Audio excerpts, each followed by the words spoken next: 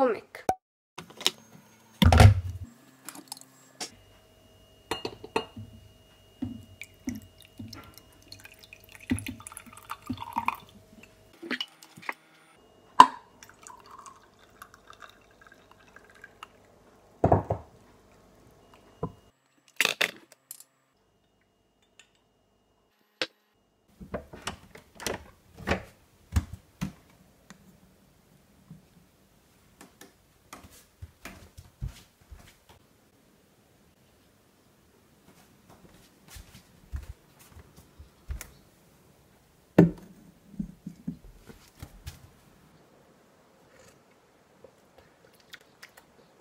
Ei märganud, siis täna teen ma Q and A-d. esimesena ma siis äh, vaatan üle Youtube'i asjandused. jupp, absoluutselt mitte ühtegi küsimust. seega ma lähen oma Insta kontole, teen screen'id. tehtud, igal juhul hakkame siis pihta äh, oma parim sõber või BFF-i eesnimi oh,. Neid on palju ja ma jällegi, ma eeldan, et kui ta seda küsib, siis ta nagu, siis ma võin tema eesnime öelda, seega üks neist on Heleri ja teiste nimesid taaskord ma ei tohi öelda.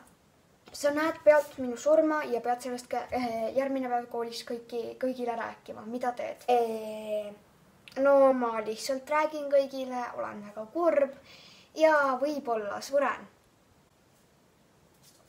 kumma sa päästaksid, minu või oma ema äh,? see, ma arvan, ma arvan, et oma ema, sellepärast et äh,, sest et ja no, ta on ikkagi mu ema siis äh, kui mina sureksin ja sina seda äh, pealt näeksid, siis mida sa tunneksid ma tunneksin seda, et ma olen läbi kukkunud täiesti mõttetu äh, ja äh, idioot, sest ma ei oska sellele midagi, sellega ka midagi teha. ma ei oska sind päästa äh,. kõige piinlikum asi, mida Crushi ees äh,, mida poisi või Crushi ees äh,, Crushi ees või juures teinud olen, peeratanud muidugi. siis ütle mu Crushi ees nimi vähemalt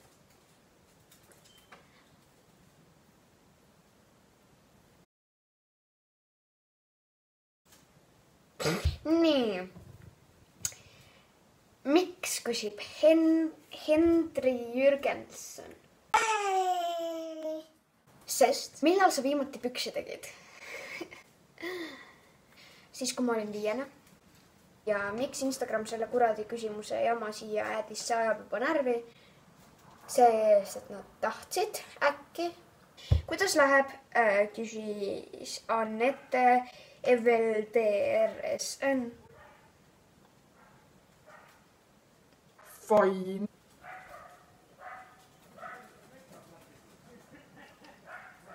E, igal juhul. LOL ütles Heart Icons. tore, mida arvad Prantsusmaast? oota ei, Prantsusmaast. Igal juhul, mida ma arvan Prantsusmaa Z-st? ma ei arva midagi, sest ma ei tea, mis asi see on esimene asi, mida teeksid, kui muutuksid üheks päevaks poisiks?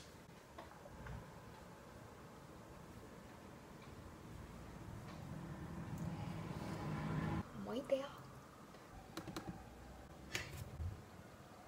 nii äh,, mis sa arvad Kardashianitest äh,?